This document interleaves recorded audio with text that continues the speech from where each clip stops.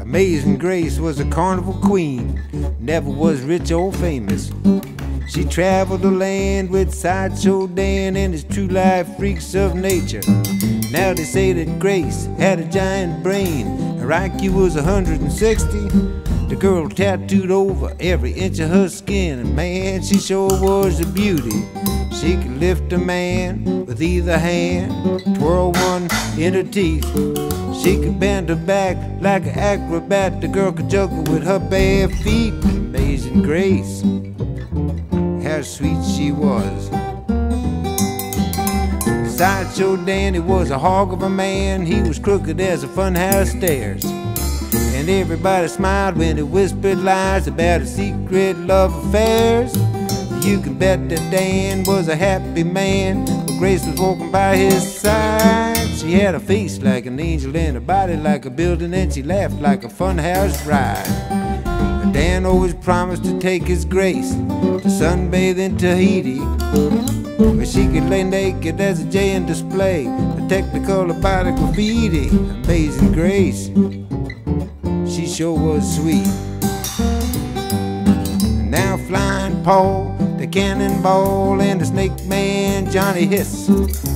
Peg leg Roy, the buck dance boy, Mysterio, the mentalist. Leon the giant and little Eddie Small said they all thought Grace could have been the very first tattoo lady astronaut or the U.S. president. Watch out.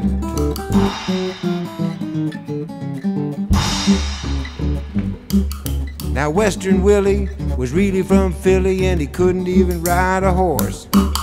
He looked the part and he could stop a girl's heart. He had the fastest trigger in the world.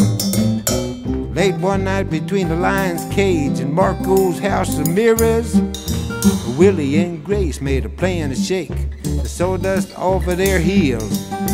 Grace wasn't happy to live in a tent, travel from city to city. So she saddled up the midnight Greyhound bus. She rode away with Willie, Amazing Grace. She sure was gone. And Dan asked Flying Paul, the cannonball, and the snake man Johnny Hiss. Peg leg Roy, the buck dance boy, and Mysterio, the mentalist. Leon the giant and little Eddie Small said they all hadn't seen a thing. And Gypsy Jill said she'd like to help, but a ball was on the blink. Now Sideshow Dan, he still makes the rounds with the true life freaks of nature. In every town, he asks around, have you seen that tattooed lady?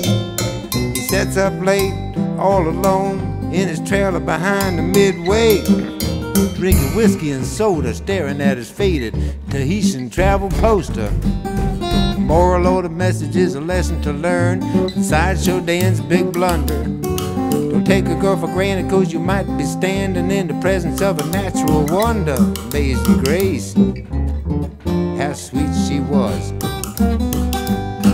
And flying Paul, the cannonball, and the snake man, Johnny Hiss. Peg leg Roy, the buck dance boy, and Mysterio, the mentalist. Leon the giant and little Eddie Small said they all thought Grace could have been the very first tattooed lady astronaut or the U.S. president. Yes, Amazing Grace was a carnival queen, though she never was rich or famous. She traveled the land with Sideshow Dan and his true life freaks of nature. Now say that Grace had a giant brain, IQ was 160. The girl tattooed over every inch of her skin, and man, she sure was a beauty.